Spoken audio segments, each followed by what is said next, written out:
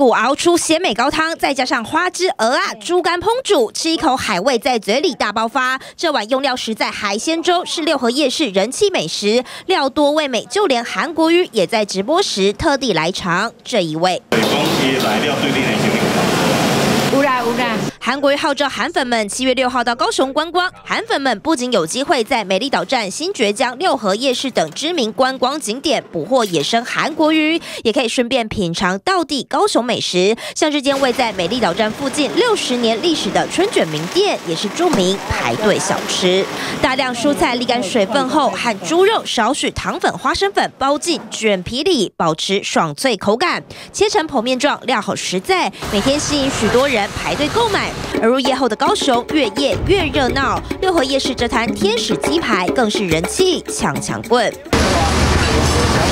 鸡排炸的金黄酥脆，吃起来多汁不柴，厚度和五十元硬币一样。逛累了，来一杯六合夜市里韩市长推荐的杏仁茶、木瓜牛奶解解渴。离开高雄前，也不忘带份独特的市长凤梨酥伴手礼。七月六号跟七月七号。就是只要穿国旗装、戴国旗帽，或者是有穿韩市长的任何衣服都可以。那只要来店里，我们就是充满气势吐司，厚片吐司就买一送一。烤得香酥的凤梨酥，上面印上 Q 版韩国头像，创意市长凤梨酥日前多场造势，创下惊人销量。这次为了响应观光活动，业者推出打折优惠，期盼庶民美食创造无限商机。记者宋报道。